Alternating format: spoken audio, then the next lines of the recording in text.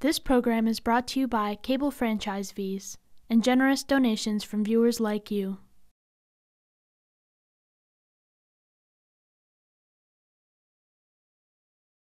Hello, and welcome to the Amherst Weekly Report, Amherst Media's weekly news roundup. I'm Faith Gregory, and these are the biggest news stories out of Amherst, Massachusetts. This past week, we saw three nearby colleges reverse their previous reopening plans for the fall 2020 semester.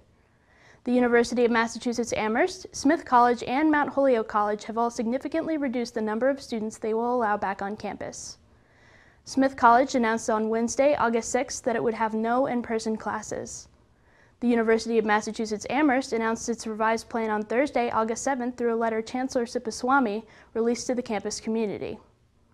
In the letter, he said that this decision was made in response to the worsening conditions of the COVID-19 pandemic nationally, and that while the prior instructional plan will remain the same, the university will no longer offer on-campus housing for students whose coursework is entirely remote.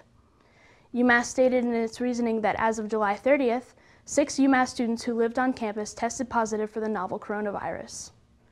Mount Holyoke announced its decision to not bring back students in the fall shortly after UMass, and said that students currently living at Mount Holyoke who can't return home or students who cannot perform academically at home are welcome to stay on campus. Universities aren't the only schools moving their facilities online this week. The Northampton School Committee decided Thursday, August 6th, that the Northampton Public Schools will take place remotely this fall until at least November 4th. The Amherst Pelham and Amherst Regional School Committees decided on the same night that the Amherst Pelham Regional Schools will also go remote until mid-November in a phasing method called Model 4, where select groups of students will be educated in person and everyone else will learn remotely. Here's what they had to say about the Model 4 method. From my perspective and our perspective, out of the four that are there, um, phasing Model 4 would be the preference for a lot of the reasons that you heard from me and, and from Mr. Sadiq earlier. Um, just it seems like it makes sense. Logistically, it makes sense. I know it holds out um, secondary kids a little longer than some people uh, might want, but I think I think just it, if we focus on a small group at the beginning, uh, and particularly the groups that have the least access to distance learning, I think that's in our best interest. Um, and I think, you know, I, I know some people think it's too aggressive, some people think it's conservative, but you know, for our perspective, I think that's where if we land there, that seems like um, the best approach from my personal perspective. Springfield Public Schools will go the same route, following a Springfield School Committee decision on the same day to move schools to virtual facilities.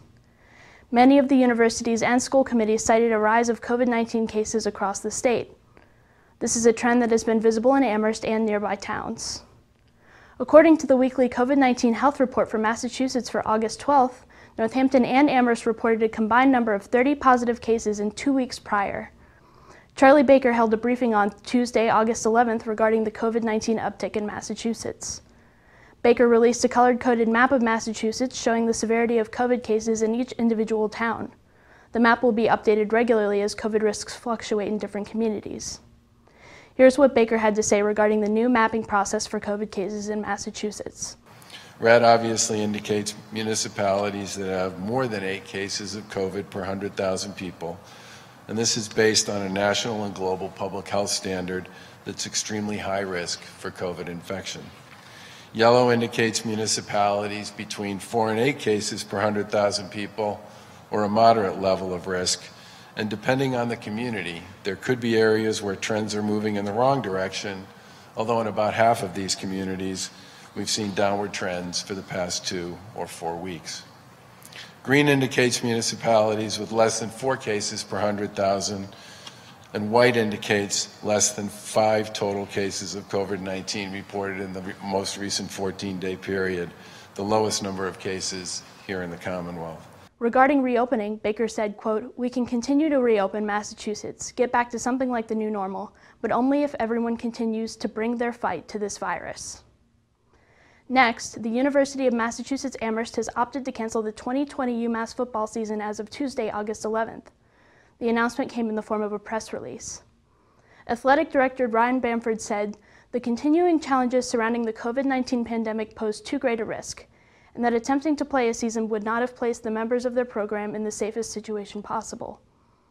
In other news, an informal House session of the Massachusetts House of Representatives took place on Monday, August 10th, and referred a petition establishing a moratorium on the MCAS test to the Committee on Joint Rules, reported and rules suspended, and to the Committee on Education.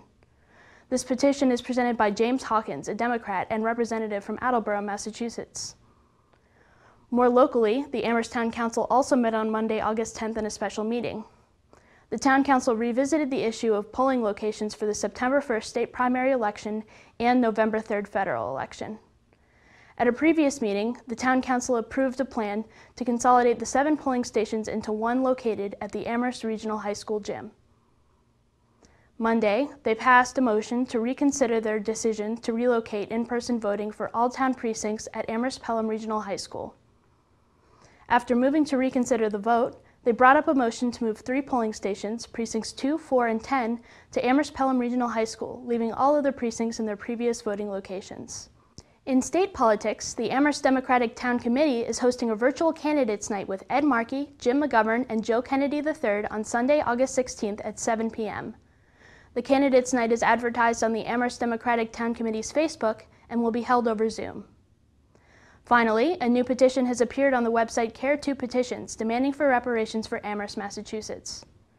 The petition, which is sponsored by Michelle Miller of District 1 and Corrine Andrews and Matthew Andrews of District 2, formally requests the Town of Amherst Partnership to end structural racism and achieve racial equity, and to establish a funding source devoted to local reparations.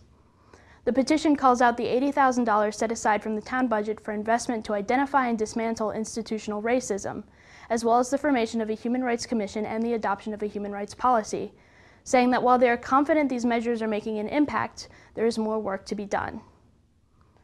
The petition specifies what we're asking for is the town's sincere partnership in confronting the legacy and current manifestations of structural racism here in Amherst. That's all the news for this week. Thank you for tuning into the Amherst Weekly Report. I'm Faith Gregory, and we hope to see you again at the same time next week.